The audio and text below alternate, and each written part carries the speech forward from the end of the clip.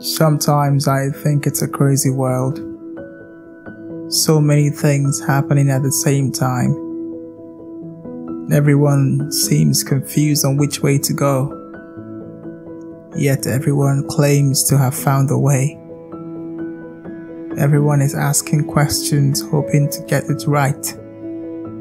Yet everyone seems to have something to say. It's quite a funny world. You cry and they say you are so emotional.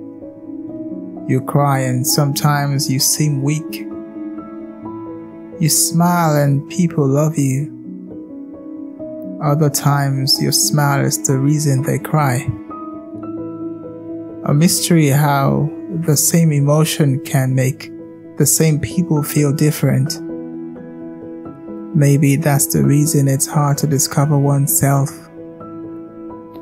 hard to become everything at the same time.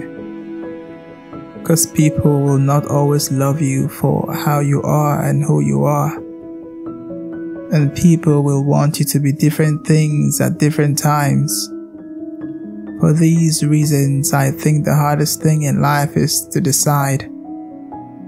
Decide to be you no matter what people say.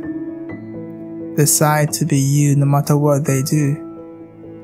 Decide to be you and love yourself because you always seek to improve.